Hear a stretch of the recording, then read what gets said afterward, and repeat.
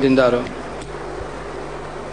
सबसे पेशतर हमारे आक़ नामदार इमाम ज़मान नूर खुदा बिन बरहक, नूर मौलाना शाह करीम हुसैनी हाजिर इमाम के मुबारक नाम पर सलवात पढ़िए। अल्लाह महमद महमद दीनदारों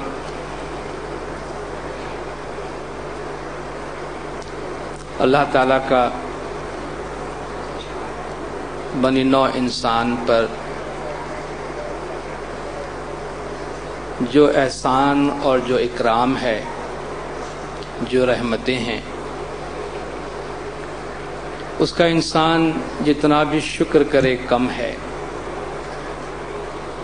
अल्लाह ताला का इरशाद है कि वह आता कुम मिन कुल्लिमा तुमुह तुमने जो कुछ मांगा हमने तुम्हें दिया है। वाइन ताउद मतल्ला तुहसूहा अगर तुम अल्लाह ताला की नेमतों को गिनने बैठो तो कभी भी उसका शुमार नहीं कर सकोगे। और अल्लाह ताला से मांगने का कोई ऐसा अंदाज भी नहीं है कि हम अपने अल्फाज में अल्लाह से जो मांगे वो हमें देता है। बल्कि हमारी जो ज़रूरतें हैं, जिनका शायद खुद हमें भी अंदाज़ा न हो, वो भी अल्लाह ताला ने पूरी की है। तो अल्लाह ताला जब ये फरमाता है कि वाता कुम मिन कुल्ली मासल तुम हो तुमने जो कुछ मांगा, यानी तुम्हें जिन चीज़ों की ज़रूरत थी, अल्लाह ताला ने तुम्हें अता की है। और अल्लाह ताला की तुम पर इतनी रहमत है कि तुम उनका मुकम्मल तौर पर शुक्रिया कभी भी अदा नहीं कर सकोगे। और उन तमाम नेमतों में से अल्लाह ताला की सबसे बड़ी नेमत, सबसे बड़ी रहमत इंसान की हिदायत है। अल्लाह ताला ने इंसान को कभी भी ज़मीन पर हिदायत से खाली नहीं छोड़ा है। इम्मा यातियन कुम मिन्नी हुदन, तुम्हारे पास हमारी तरफ़ से हिदायत आएगी। फमन तबी हुदाया फला खौफ अलहिम वला हम यह जनून कि जो हमारी हिदायतों पर अमल करेंगे, उन्हें न तो किसी किस्म का खौफ होगा और न ही वो गमगीन होंगे। यानी वो माजी के लिहाज से और मुस्तकबिल के लिहाज से, दोनों लिहाज से अमन में होंगे। इंसान गमगीन हमेशा माजी के लिहाज से होता है और खौफ ज़दा हमेशा मुस्तकबिल के लिहाज से होता है। आने वाली किसी चीज़ के बारे में इंसान गमगीन नहीं होता है। गमगीन जो चीज़ें हो चुकी होती है, उसके वास्ते होता है। और जो चीज़ गुजर चुकी होती है, उसके लिए खौफ ज़दा नहीं होता। कुछ अंदेशे होते हैं कि न मालूम क्या हो मेरे साथ, उसके लिए वो खौफ ज़दा होता है। तो अल्लाह ने फरमाया, वला खौफुन अलहिम, वला न तो उन्हें मुस्तकबिल का कोई खौफ होगा और न ही अपने माजी के लिहाज से वो गमगीन होंगे। वो लोग जो अल्लाह तबारक व ताली की हिदायत पर अमल करेंगे। और रुए ज़मीन पर अल्लाह ताला का एक बहुत बड़ा मोजिज़ा है। बहुत बड़ा मोजिज़ा कि अल्लाह तबारक व ताली ने हुजूर अकरम वसल्लम के ज़रिया इंसान के साथ कलाम किया, इंसान से खिताब किया और अपनी अजीम तरीन किताब, कुरान शरीफ जैसी आला किताब, आला कलाम इंसान को हुजूर अकरम सल्लल्लाहु अलैहि वसल्लम के ज़रिया इनायत की। इस कुरान के नज़ुल के हवाले से अल्लाह ताला का इरशाद है कि लो अनजलना हाजल कुरान अला जबल लरअतहु खौशियम मुतसद्दियम मिन खशियतिल्ला अगर हम इस कुरान को किसी जबल पे उतारते लवंजल हाजल कुरान आला जबलिन, अगर हम इसे किसी पहाड़ पे उतारते लड़ाई तहु खाश खाशियम मुतसदियम बिन खशतिल्ला तो तू देखता कि वो अल्लाह ताला के खौफ से आजिजी के मारे रेजा रेजा हो जाता। उस कलाम में इतना ज़ोर है, इतना पावर है, इतना भारी कलाम है कि बड़े से बड़ा पहाड़ भी उस बोझ को उठा नहीं सकता। इस बोझ को इंसान ने उठाया है, इस बोझ को इंसान कामिल ने उठाया है। और अल्लाह ताला ने ये अजीम कलाम इंसान के हवाले, बनी नौ इंसान के हवाले किया है। इस कलाम में अल्लाह तबारक व ताला ने अपने ही कलाम पे शक करने वालों को एक चैलेंज किया है और आज भी अल्लाह का ये चैलेंज इंसानों के सामने ज़िंदा है। आज 1400 साल के बाद भी इंसान के सामने ये चैलेंज मौजूद है और जो भी चाहे इस चैलेंज को एक्सेप्ट कर सकता है। व इन कुन तुम फ़ी मिम्मा नजलना अला अब्दीना अल्लाह ताला फरमाता है कि अगर तुम्हें उस चीज़ के बारे में कोई शक है, जो हमने अपने बंदे पे नाजिल किया है, फातु बिसूरत मिसली वद शुहदा कुम मिन दून इन तुम स्वादिकीन। तो उसके जैसी एक सुरा बना के ले आओ।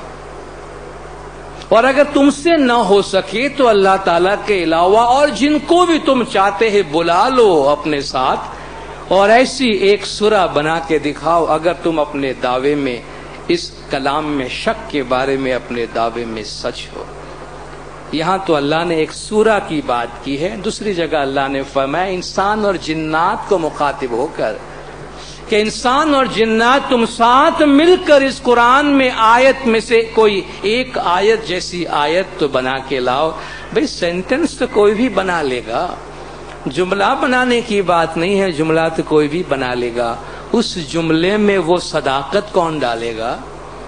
उस जुमले में वो मानी कौन डालेगा? उस जुमले की सदाकत में वो दायमियत कौन डालेगा? कोई नहीं डाल सकता।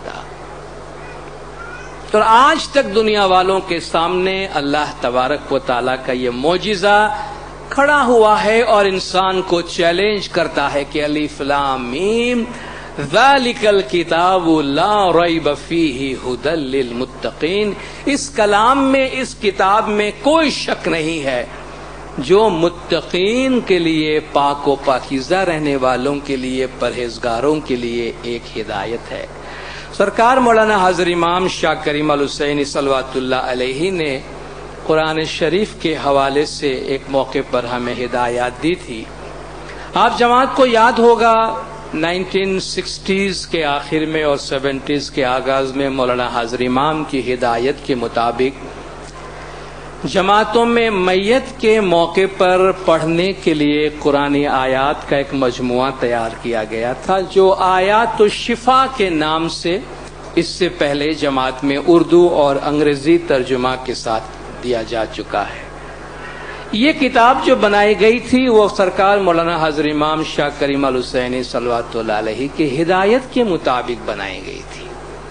और मौलाना हाजर इमाम ने खुद उन आयात के सिलेक्शन में जाती तौर पर दिलचस्पी ज़ाहिर की थी। मौला ने खुद उन आयात के सिलेक्शन को देखा था और उसके बारे में जमात को, तरीका बोर्ड को मौला ने हिदायत दी थी। तो जब उस किताब की तैयारी हो रही थी तो 1969 में मौलाना हाजर इमाम ने यह हिदायत देते हुए फरमाया था, the holy Quran is a miracle in Islam. Quran शरीफ दीन इस्लाम का एक मोजिजा है। एक और इंटरव्यू में इमाम ने फरमाया था only miracle in Islam is the Quran इस्लाम का वाहिद मोजिजा जो है, वो कुरान है। And the study of the Quran is a science in itself Quran का मुताला फ़ी नफ्स ही एक साइंस है। पढ़ने के तो अल्लाह का कलाम है। हर शख्स उसको पढ़ता है। पढ़ने को कार सवाब समझता है। मगर उसको समझना, उसकी हिकमतों को समझना, उसकी तशरी, उसकी तफसीर, उसकी तावील नासिक और मनसूख, यानी कौन सी आयत, किस आयत को मनसूख कर रही है, कैंसिल कर रही है, इन तमाम चीज़ों का जानना एक इल्म है, एक साइंस है, मौला ने फरमाया। We should take initiative to introduce selected surahs for these occasions and not to leave them to others मौला ने फरमाया, अच्छी बात है कि हम पहल करें, कुरान की इन सूरतों को सिलेक्ट करने का और हम इसको जमातों को दे, क्योंकि ये बहुत मुफिद चीज़ है और ये हम दूसरों के हवाले न करें कि दूसरे हमको करके दे. द जमास फिर also they way come to know about the useful selected ayahs इसके ज़रिए से जमात को भी इन मुंतखब सूरतों के बारे में जानने का मौका मिलेगा। जब ये किताब तैयार हो गई और मौलाना हजर इमाम की खिदमत में पेश की गई। मौलाना ने इस किताब की अप्रूवल दी 1972 नवंबर में। उस वक्त मौलाना हजर इमाम ने फरमाया, जो आज हम रूहानी मजलिस में बैठे हैं तो उस हवाले से भी मौलाना हजर इमाम के ये फरामीन हमारे लिए बहुत ही मुफीद है, क्योंकि कुरान की उन आयात का वो सिलेक्शन था जो खास तौर पर मैयत के मौके पर पढ़ा जाता है। मौलाना फरमाया how beautifully holy Quran speaks of the kindness and generosity of Allah Quran कितनी खूबसूरती के साथ अल्लाह की रहमत, अल्लाह की रहमदिली और अल्लाह की फयाजी का ज़िक्र करता है। The Quran also speaks of the greatness of the hereafter आखरत की बड़ाई की बात करता है। वमल हयात तो दुनिया वलाइब ये दुनिया की जिंदगानी खेल और तमाशे के सिवा क्या है? हमारी ज़रूरतें तो हैं। दुनिया में ज़िंदगी गुजारनी है। खाना पीना है, घर संसार बनाना है, कारोबार चलाना है, ज़िंदा रहना है, नस्ल इंसानी को आगे बढ़ाना है, ये हमारी दुनियावी ज़िंदगी की ज़रूरतें हैं। मगर आखरत के मुकाबले में अल्लाह ताला फरमाता है कि ये परछाइयाँ हैं, ये साए हैं, लहू व लाइब है। उस आखरत की ज़िंदगी के मुकाबले में फानी है। उस दायमी ज़िंदगी के मुकाबले में खेल और तमाशा है। तो खेल और तमाशे को खेल और तमाशा समझकर ही अपनाओ और खेल तमाशा समझकर ही जियो। इसको दुनिया की हकीकत न समझो। हम जब ख्वाब में होते हैं तो हमारे लिए ख्वाब की दुनिया हकीकत ही होती है। वो तो तब हमें पता चलता है कि हम ख्वाब में थे जब हम नींद से बेदार होते हैं। कह रहे या अच्छा ख्वाब देखा तो अफसोस होता है कि बड़ा अच्छा वक्त गुजर रहा था। बुरा ख्वाब देख रहे थे तो खुश होते हैं कि चलो जो कुछ देखा वो ख्वाब था हकीकत नहीं थी। ये ख्वाब दर ख्वाब है। उस दुनिया के मुकाबले में ये दुनिया भी एक सपना है। दुनिया चरित्र देख के बंदे मत तू जाए रे भुलाए। सपना तरनु पेखणु बंदा तैसो आरे संसार। ये दुनिया एक सपना की तरह है। अन्ना सुनियामुन हुजूर अकरम फरमाते हैं। दुनिया, जमाना पूरा सोया हुआ है। जब मरेंगे, तब जागेंगे। तो मौला फरमाते हैं, कितनी खूबसूरती के साथ कुरान आखरत का ज़िक्र करता है। वमल हयात तो दुनिया इल्ला लहू वलाइब ये दुनिया क्या है? खेलो तमाशा। ये मालो दौलत दुनिया। ये रिश्ता वो पैवंद। बुतान वहम गुमा, ला इलाहा इल्लल्लाह। ये माल, दौलत, दुनिया, रिश्तेदारी, ये सारी चीज़ें बुतान वहम गुमा, हमारे वहम, हमारे गुमान इल्यूजन्स के आइडल्स हैं, ये बुत हैं, जो हमारे वहम और गुमान ने बनाया हुआ है। वरना अल्लाह के सिवा कोई मबूद नहीं है।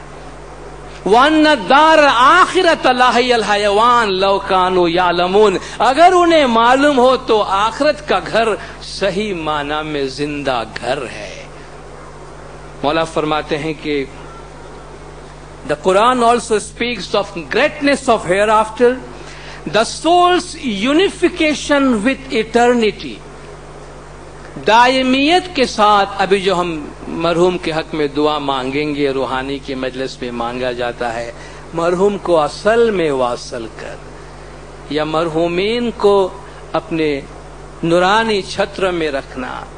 मौला फरमाते है सोल्स यूनिफिकेशन विथ इटर्निटी यानी दायमियत के साथ रूह का एक दफ़ा से फिर फिर से मिल जाना, उसके लिए कुरान शरीफ आपको बताता है। That the disease is to receive there what he could not enjoy in this world. दुनिया में जो कुछ उसको हासिल नहीं हो सका वो रूह को उस दुनिया में सब कुछ हासिल होता है दुनियावी चीज़ों के हवाले से नहीं दुनिया में इंसान को जो कुछ हासिल नहीं हो सका, मौला ने फरमाया, वो उसको आखरत में हासिल होती है। इसका मतलब ये नहीं है कि दुनिया में जो चीज़ें ख्वाहिशात उसकी बाकी रह गई हैं, वो उसके पीछे भेजो तो वो वहाँ जाकर उसको एंजॉय करें। दुनियावी मालो मता दुनिया की चीज़ें हैं। हम जो मरहूम के पीछे सामान रखते हैं, ये एक दुनियावी सिंबॉलिक लैंग्वेज है। ये एक अलामती जबान है, वहाँ न उसे कपड़े की ज़रूरत है, वहाँ न उसे खाने पीने की ज़रूरत है, वहाँ न उसे कोई टेलीविज़न की ज़रूरत है, न बर्तन की ज़रूरत है, न कोई सुई धागे की कि उसे अपना कपड़ा सीना हो वहाँ। ये तो हमारा दुनियावी मज़हब में बात करने की हमारी एक जबान है कि हम मरहूम के पीछे अलामती तौर पे कुछ चीज़ पेश करते हैं दुआओं के अंदाज में। बाकी मौला ने फरमाया, जो कुछ दुनिया में उसकी ख्वाहिशात रह गई हैं, अबदियत में उसकी सारी ख्वाहिशात पूरी होती है and what man loses in this world by living is insignificant इंसान दुनिया से जाते हुए जो कुछ भी छोड़ता है पीछे मौलाना जस्ट इनसिग्निफिकेंट इसकी कोई अहमियत नहीं है। अगर वो जाते हुए लाखों और करोड़ों की जायदाद भी छोड़ जाता है तो आखरत के मुकाबले में वो मिट्टी का ढेर छोड़ के जाता है। बच्चों के खेलने के खिलौने छोड़ के जाता है। अबदियत के मुकाबले में अल्लाह ताला के उस अबदी कायनात और अबदी सल्तनत के सामने ये दुनिया के मालो दौलत, दुनिया के घर, दुनिया का सामान, दुनिया के जेवरात, दुनिया की प्रॉपर्टी और ये हमारे पैसे, वो कोई हैसियत नहीं रखते। उनका वहाँ किसी किस्म का कोई रिकॉग्निशन नहीं है। इनसिग्निफिकेंट मौला फरमाते हैं, उनकी कोई हैसियत नहीं होती है। उनकी हैसियत, हमारे दुनिया में हम जो खिलौने से खेलने वाले लोग हैं, खिलौने से खेलने वालों के पास खिलौनों की बड़ी अहमियत होती है। आपके बच्चे छोटे छोटे होते हैं तो खिलौने के लिए भी लड़ते हैं ना? छोटी छोटी चीज़ के लिए हम भी लड़ते थे जब छोटे छोटे बच्चे थे तो। खिलौनों को ऐसे संभालते थे जैसे कोई बहुत पैसे वाला अपना पैसा संभालता है। जब आदमी बड़ा होता है, दानिशमंद होता है, अकल आती है समझ आती है तो शायद अपनी ही हरकतों पे हंसता होगा कि मैं इन चीज़ों को संभाल के रखा था। आज भी आपने अपने घर में जो चीज़ें संभाल के रखी है, जरा जाइए और देखिए, हमारे दुख, हमारे तकलीफ़ का बहुत बड़ा सामान हम खुद अपने कबर्ड के अंदर बंद करके रखते हैं। दुनिया की माया है। अपना घर खोलिए अपने कबाड़ तो खोलिए जो सामान, कपड़े लत्ते आपने जमा किए, अपने आप से पूछिए, क्या इन सब चीज़ों की मुझे ज़रूरत है? क्या ये सब चीज़ें मेरे काम की हैं और मेरी ज़रूरत है इन चीज़ों की? आपको लगेगा इनमें से बहुत सारी चीज़ों को महज मैंने अपनी मोहब्बत के खातिर रखा हुआ है। ये मुझे कभी काम नहीं आने वाला है। जो चीज़ें काम नहीं आने वाली, निकाल दीजिए। किसी ऐसे को दे दीजिए जिसको काम आए। आज हमने संभाल के रखा है। कल हमारा जी भर जाएगा, फिर हम निकाल के फेंक देंगे। फेंकना तो बाद में भी है। तो अपने ग्रीड और अपनी नीड के दरमियान एक लाइन ड्रॉ करे। मेरी ज़रूरत क्या है और मेरी तमन्ना क्या है? ज़रूरत हमारी बहुत थोड़ी है। ख्वाहिशात की कोई लिमिट नहीं है, कोई इंतहा नहीं है। तो मौला फरमाते हैं, मरहूम जाते हुए दुनिया से जो कुछ छोड़ के जाता है इनसिग्निफिकेंट उनकी कोई हैसियत नहीं, कोई कीमत नहीं है। Death causes only a temporary separation मौत महज एक आरजी जुदाई पैदा करता है। मौत महज एक थोड़ी देर की जुदाई पैदा करता है क्योंकि ये हम जिस्मानी दुनिया में होते हैं। जिस्मानी दुनिया से गुजरने के बाद रूहों के साथ जो हमारा रूहानी रिश्ता, रूहानी लिंक है, वो तो हमेशा रहता है। जिन रूहानियों को हम याद करते हैं, क्या वो हमारे पास नहीं है अभी? ये और बात है कि जिस्मानी रिश्तों के हवाले से नहीं है, वरना तो वो हमेशा हमारे आस पास मौजूद होती है। इस मौके पर कुरानी आयात के पढ़ने के हवाले से इमाम ने फरमाया decency on such occasion of death lies in not using ayahs which are frightening or which can be interpreted to point out weakness of the person who passes away. मौला ने बहुत ज़ोर दिया कि आप किस किस्म की आयात का इंतखा करें। मौला ने फरमा इस मौके पर आप एक बहुत ही शाइस्तगी की बात है कि आप वो आयात न पढ़ें कि जिनमें डराने की बात की गई हो। हमने गिनान के लिए, कलाम के लिए, आयात के लिए यही हिदायत दी हुई है। कि डराने वाले, खौफ पैदा करने वाले, अजाब का ज़िक्र और अजियत देने वाली जो बातें और मैसेजेस हैं मौलाना फरमाया, ऐसे मौके पे उनको न पढ़ो और न ही कोई ऐसी आयत या ऐसा कलाम पढ़ो जिससे मरने वाले की कोई खामी ज़ाहिर होती हो। इस्लाम का पैगाम बहुत प्यारा और बहुत खूबसूरत पैगाम है। कोई आदमी आपको अपनी ज़िंदगी में कितना भी नापसंद क्यों न हो, मौत के बाद कभी किसी के बारे में बुरे कलिमात नहीं अदा करना चाहिए। किसी भी मरहूम को कभी बुरे लफ्जों में याद नहीं करना चाहिए, क्योंकि अब वो दुनिया से गुजर गया है। अब वो आपको कोई नुकसान नहीं पहुँचा सकता, न आप उसका कुछ कर सकते हैं। वैसे ही किसी को बुरे लफ्जों में याद करने की मनाही है, लेकिन मौला ने फरमाया, किसी मरहूम की कमज़ोरी ज़ाहिर होती हो, ऐसी चीज़ ज़ाहिर करने वाली आयात या कलाम उस मौके पर आप न पढ़े। Except Allah it is given to no Muslim to जज एनी बिलीवर किसी मुसलमान को यह हक नहीं दिया गया है। इन दैट मैटर किसी इंसान को यह हक नहीं दिया गया है कि किसी और इंसान किसी और मोमिन के बारे में फैसला दे। हमारे हर जुमले के अंदर अच्छा या बुरा का फैसला हम देते हैं ना। फलान आदमी अच्छा है, फलान आदमी बुरा है। ये अच्छा है, ये बुरा है। हम इतनी ज़्यादा जजमेंटल हैं जो हमारे लिए दुख और परेशानी का सामान बनता है। जजमेंट अल्लाह के हवाले रहने दें। कौन अच्छा है, कौन बुरा है, जिसके हाथ में इंसाफ का तराजू है, उसके हाथ में रहने दे, वो इसका फैसला करे। The element of hope should be strong so that in his bereavement a believer gains confidence उम्मीद का उनसर मज़बूत होना चाहिए, ताकि सोगवार खानदान के जो पीछे रह गए हैं उनको इस मौके पर सुकून मिले और दिलासा मिले और एतमाद मिले। What is needed is comfort for the bereaved family मरहूम के पीछे जो फैमिली रह गई है, उनको सुकून मिलना चाहिए। This also help Jamaat to appreciate faith इससे जमात को ईमान की अहमियत का अंदाज़ा होगा। Faith has everything in it ईमान के अंदर सब चीज़ मौजूद है। If you lack in judgement it is your own weakness अगर आप इसको नहीं समझ पाते हैं यह आपकी अपनी कमज़ोरी है। So you should introduce this and recite relevant surahs तो मौला ने फरमाया, आप इसको पढ़ें, ले जाएँ, और जो मुतल का सूरत हैं, आप इसको पढ़ें। I will not be surprise if other Muslims use your book मौला ने फरमाया, हमें इस बात से हैरत नहीं होगी अगर दूसरे मुसलमान भी आपकी इस किताब का इस्तेमाल करें। और हम आप जमात को बताते हुए बहुत खुशी महसूस करते हैं कि मौलाना हाजिर इमाम की हिदायत पर यह आयत तो शिफा जो बनाई गई थी उस वक्त, जमातों में जो दी गई है, आपने भी देखा है, पढ़ा है। न सिर्फ़ जमात के अंदर, जमात के बाहर भी ये किताब बहुत मकबूल हुई है। इसकी बड़ी पजीराई हुई है कि देखो, इस्माइली जमात जब कोई काम करती है तो कितना अच्छा काम करती है। जब कुरान के हवाले से बात निकली है तो मैं एक बात आज और भी आपके सामने पेश करना चाहूँगा कि जमात के अंदर कुरान पढ़ने और कुरान शरीफ को समझने के बारे में वक्तन फवक्तन तरीका बोर्ड से रहनुमाई तलब की गई है। कि हम कुरान शरीफ का कौन सा टेक्स्ट पढ़ें? जुमा के हवाले से अगर हम उनकी कोई रहनुमाई कर सकते हैं तो हम कुरान शरीफ का कौन सा तर्जुमा पढ़ें?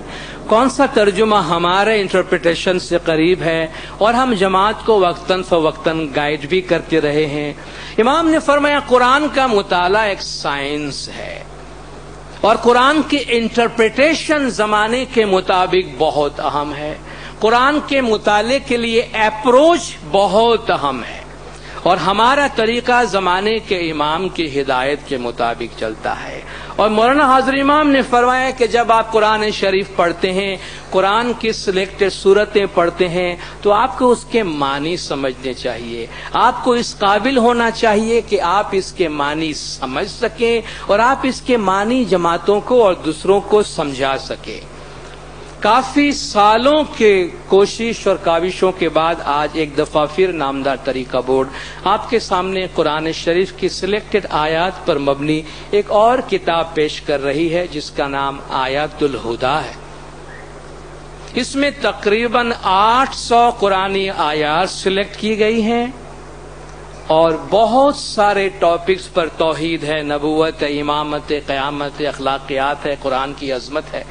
बहुत सारे उनवान पर इनमें कुरान हकीम की सिलेक्टेड आयात जो हैं, वो शामिल की गई हैं। उर्दू तर्जुमा के साथ है। जहाँ जहाँ तशरी की ज़रूरत पेश आई है, उसकी तशरी भी उसमें डाली गई है। इसमें जो मोटे मोटे उनवान है, जिसका सबसे अहम उनवान चूँकि हम अपनी जमात की ज़रूरत के लिहाज से भी बात करते हैं, वो इमामत का उनवान है। हमारी जमात वक्तन फवक्तन जब अपने तरीके की समझ के बारे में लोगों से बात करने की कोशिश करती है, या जब हमें हमारे तरीके के बारे में सवाल किया जाता है आर्टिकुलेशन ऑफ़ फेथ की बात होती है, कुरान के बेसिस पे हमारे तरीके अकीदा इमामत के बारे में हमसे बात की जाती है तो हम गैर ज़रूरी तौर पर अपने अंदर थोड़ी सी कमी, थोड़ी सी कमज़ोरी महसूस करते रहे हैं। गालिबन हमने कुरान उलूम से कुरान आयात से अपने आप को इतना लैस नहीं किया था कि हम मजबूती के साथ कहीं खड़े रहकर किसी से बात कर सके। इस किताब के अंदर हमने जो इमामत का चैप्टर है, उनमें कुरान शरीफ की 131 ऐसी आया जिनमें वाज तौर पर इमामत का ज़िक्र है, जिनकी तशरी तफसीर में इमामत का ज़िक्र है, और जो तकरीबन एक सौ छप्पन सफहात पर, यानी इस किताब का जो आधा हिस्सा है, वो तकरीबन इमामत के हवाले की जो आयात हैं, उन पर मबनी है। और आप जमा जब इस किताब का मुताला करेंगे और ख़ास तौर पर इमामत की आयात को आप देखेंगे तो आपको पता चलेगा कि हमारे तरीके की बुनियादें और इमामत की बुनियादें कुरान हकीम में कितने स्ट्रांग है और इमामत का अकीदा, इमामत की बातें, जिस तरह लोग हमसे बात करते हैं या हमारे तरीके को लेते हैं गोया ये कोई आजकल का निकला हुआ नया तरीका है, ऐसी बात नहीं है। सदियों से दीन इस्लाम के साथ, इमामत की बुनियाद कुरान हकीम के साथ चली आई है। मैं चंद आयात का हवाला ज़रूर दूँगा, जो इस उनवान के हवाले से है। इमामत के बेसिस की, इमामत की बुनियाद की जब हम बात करते हैं, आप जब इन कुरान आयात को देखेंगे, हुजूर अकरम के जमाने से पहले से इमामत का तस्करा चला आ रहा है। आ, हज़रत आदम सलाम को खलीफा बनाने वाली आयत पढ़िए। उसकी तशरी में आप देखिए अल्लाह ताला हमेशा ज़मीन पर इमामत के अकीदे की और हिदायत की दायमी मौजूदगी का ज़िक्र करता है। इन्नी जाइल फिल अर्दी खलीफा, ज़मीन पर हमारा खलीफा होगा। इसका मतलब यह है कि जब तक ज़मीन है तो ज़मीन पर खलीफा मुकर होगा। वजीब तला इब्राहिम और अबू कलीमात फातम महुन्ना जब अपने रब ने, जब उसके रब ने इब्राहिम सलाम को चंद कलीमात से आजमाया, जिसको उसने पूरा कर दिखाया, यानी इम्तिहान पे पूरा उतरा। तो अल्लाह तबारक को ताला उनको एक रिवॉर्ड दे। जिस तरह इम्तिहान में कोई पास होता है तो हम कहते हैं, भाई, अब आप कामयाब हुए, हम आपको इसका इनाम देते हैं। तो जब इब्राहिम सलाम कामयाब होते हैं, इम्तिहान में अल्लाह ताला फरमाता है, काला इन्नी जाइलुकलिन्नासी इमामा। हम आपको लोगों का इमाम बना रहे हैं। क्या अल्लाह ताला उसको किताब बना रहा था? एक पैगंबर को वकुल शईनाहु फ़ी इमाम मुबीन वाली आयत, जब आप किसी गैर शिया का तर्जुमा पढ़ते हैं तो कहते हमने हर चीज़ किताब के अंदर समो दी है। क्या इमाम का तर्जुमा किताब होता है? इन्नी जाइलू कलिन्नासी इमामा, ए इब्राहिम, हम आपको लोगों के लिए किताब बना रहे हैं। कोई कुरान पढ़ने वाले और तशरी करने वाले, इतने भी तो नादान नहीं। और इतने नादान होने की ज़रूरत भी क्या है? मौलाना हाजिर इमाम फरमाते हैं, कुरान, इस्लाम, हर एक की अपनी अपनी इंटरप्रिटेशन है। अल्लाह ने सबको अकल दी है और हर एक को इंटरप्रिटेशन का हक है। अपने अंदर बेजा, खामखा, कमज़ोरी महसूस न करें। इनमें से चंद छोटी छोटी आयात को भी हम याद कर लें। बवक्त ज़रूरत हम उनका इस्तेमाल कर सकते हैं। हम अपने अकीदे को, अपने ईमान को मज़बूत कर सकते हैं। चार आदमी के बीच में अगर इस्लाम की गलत तशरी हो रही है, आपने फरमान सुना मौला का? मौला ने फरमाया stand up don't run away भागो नहीं, भागने का जमाना गया। खड़े रहो और बताओ, ठीक है, तुमने इस्लाम के बारे में ये बात की, अब मेरी सुनो मेरे इस्लाम के बारे में ये राय है।